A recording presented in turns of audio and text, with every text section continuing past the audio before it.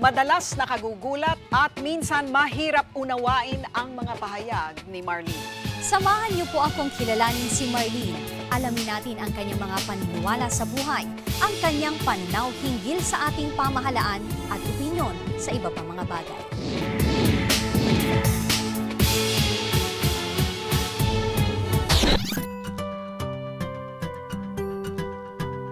Sa lumang bahay na ito sa Pereza Street, Santa Mesa, Maynila, dating nagsisiksikan ang pitong miyembro ng pamilya Aguilar. Ito talaga yung CR, ganito din. Pero tila itinakda ang kapalaran ni Marlene palayo sa kahirapan mula sa masikip at maliit na bahay na ito. Dito na siya ngayon nakatira sa isang multi-million mansion sa isang kilalang subdivision sa Quezon City. Sa bahay ring ito nahuli ng mga otoridad ang anak niyang si Jason.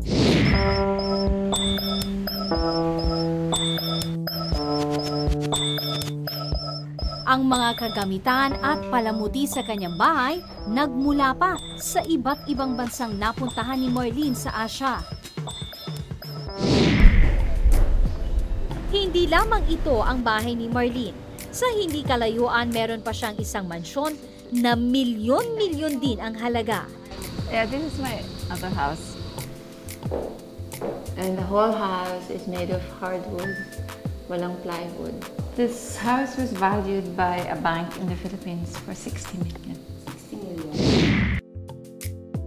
Tulad ng mga pananaw ni Marlene, nakakalula ang halaga at ganda ng kanyang mga bahay. Bukod sa material na bagay, mayaman din daw si Marlene sa kaibigan at sa karelasyon. Ang American scientist na si Dr. Robert Ivler ang unang mister ni Marlene. Siya ang ama ng magkapatid na sina Jason at Colby. Ang pagpaslang daw kay Robert, nahulaan na ni Marlene noon.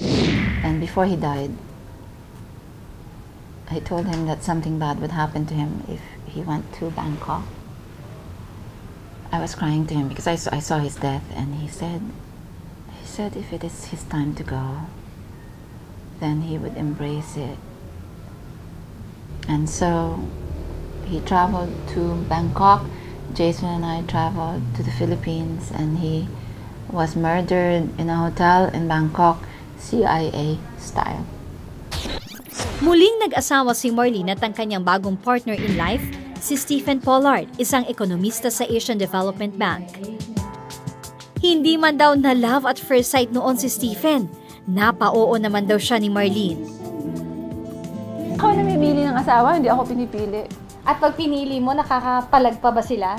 I can have anyone I want. I've always got what I want.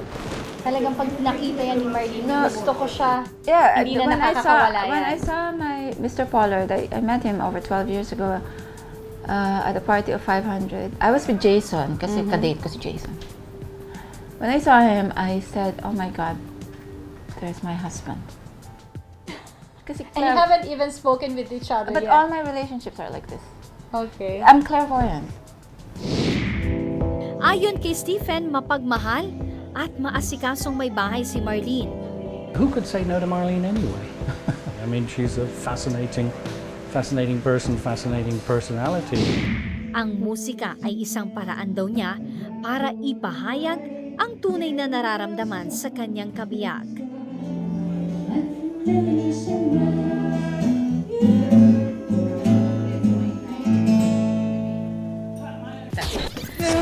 pinigay ko sa kanya, mahal-mahal ng bili ko, hindi ko pa nasuot. Pwede mo rin hiramin. Hindi na raw nagtataka si Megan Aguilar, pamangkin ni Marlene kay Freddie, kung bakit na-in love ng todo si Stephen dito. Noon pa man daw kasi, maasikaso at mapagmahal na si Marlene sa kanyang mga mahal sa buhay. When I was a teenager, andyan na yung mga nanliligaw sa akin.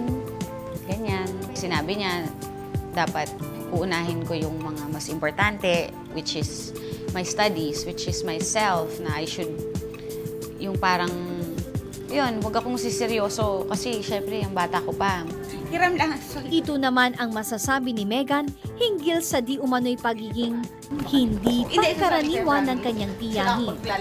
Talagang baliw siya. Totoo, kasi totoo siyang tao eh. So, yun yung pagkabaliw niya. Kaya niyang protektahan ang sarili niya na hindi niya kailangan ng ibang tao para gawin yun for her. Ayon naman sa kanyang matalik na kaibigan, malayo sa pagiging isang babaeng ilusyonada o praning si Marlene.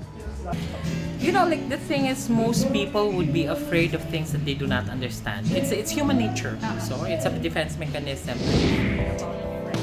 Madalas hindi maintindihan ng publiko ang mga kilos at gawa ni Marlene. Pero para sa mga taong malapit sa kanya, meron kami koneksyon. Yun ang aking pakiramdam para sa aking sister. Kahit hindi kami nagkikita, alam namin kung anong ginagawa Connected namin. yung soul namin. mas alam nila ang totoong anggulo ng isang Marlene Aguilar.